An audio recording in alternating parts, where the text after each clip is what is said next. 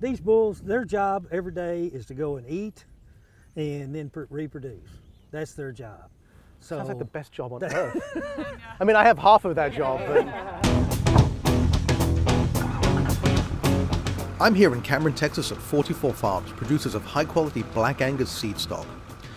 44 Farms doesn't produce beef for consumption. What they produce is semen and bulls that are then sold to produce Black Angus herds. I was lucky enough to get a tour from James Burks, the general manager, who showed me just how high quality seed stock is brought to market. so tell me about the history of this place because it's been here s- quite a while, right? Since 1909, yeah. Bob's gr- uh, great grandparents started this uh, production agriculture in the Little River Bottom, where we're standing. They they raised cattle and they also had uh, crops, row crops. It has evolved into where we are today, which is basically a uh, seed stock operation where we raise the seed stock for uh, for the core group for for uh, herds all around the world. We're standing in a pasture that's about I think this pasture is 60 acres. They got all the room in the world. If they're getting hassled by a buddy, they can walk 30 acres away and like these guys over here, they, just- want a little solitude. They went over and got them a little place. There's one laying there kind of relaxed and kick back.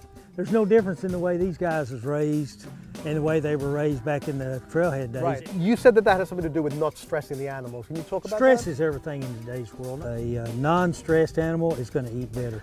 But you're also well not they do. pumping them full of chemicals, no Oh no, antibiotics, no hormones. antibiotics, no, they don't get any implants. If they have to be treated with an antibiotic, then that tag is marked and he's out of the program.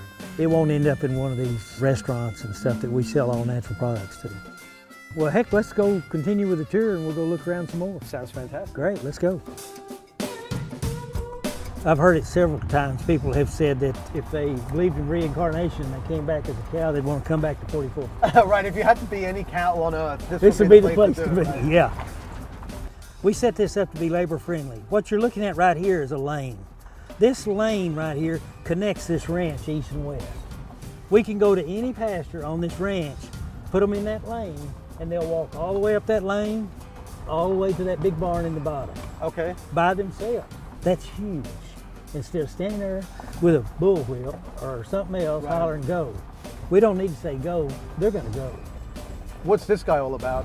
He's uh he's in uh, timeout right now. Yeah, so he was uh, acting up a bit? He was acting up a little bit. The other ten that was back here, they go off and do their own thing if you get the culprit out. Kind of like uh, elementary schools back there. Junior high is about right here, and high school is up there by the cell bar. Gotcha. And So that's it's where they go to be sold. Right.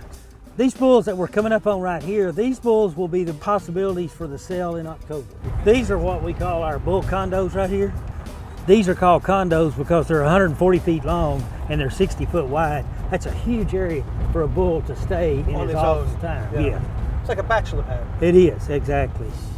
And if you're in there, you're pretty special. So what are these guys called? This is uh, BR Genesis, 44 BR Genesis.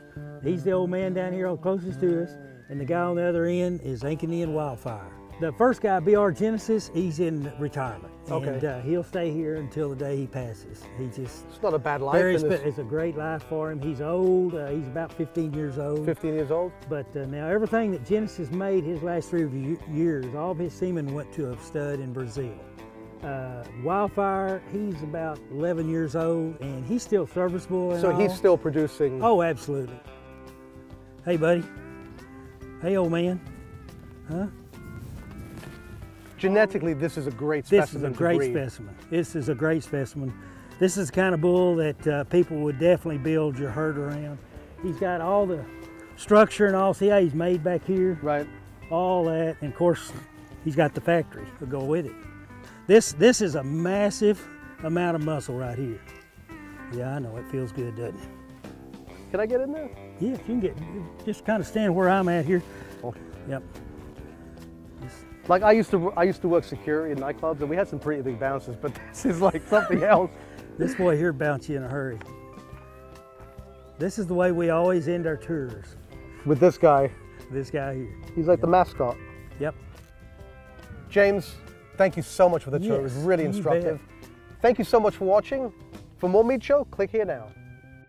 So when you come to Blacks, you get a spirit in here and you get an atmosphere that is unlike any other place on earth.